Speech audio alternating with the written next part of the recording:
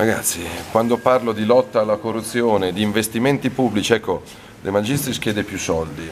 Al sud tanti cittadini, tanti amministratori locali non mi chiedono più soldi, mi chiedono più onestà e gli stessi Però soldi spesi meglio. parliamo di fondi gestiti Sì, dalla sì. regione molto spesso. Eh? Assolutamente, eh, assolutamente. Quindi se qualcuno ha sbagliato deve pagare, ma questo a Napoli come a Milano, a Treviso come a Catania. E in Italia purtroppo non c'è certezza che, che chi sbagli paghi.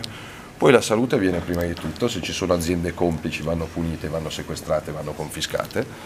Eh, nomineremo, non faccio nomi perché l'ho detto prima, però sul tema politiche ambientali, eh, pulizia, qualità dell'aria, qualità della vita, qualità del terreno, inquinamento, abbiamo uomini e donne all'altezza di, di dare risposte sicure e veloci.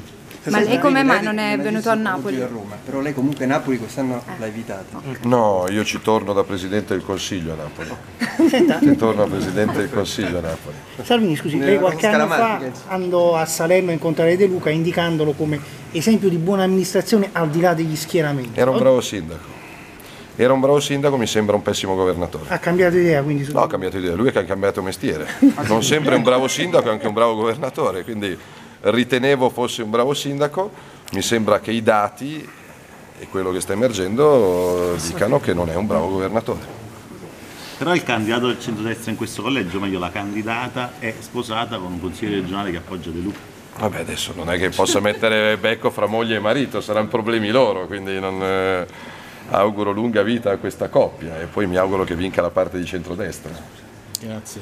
Grazie.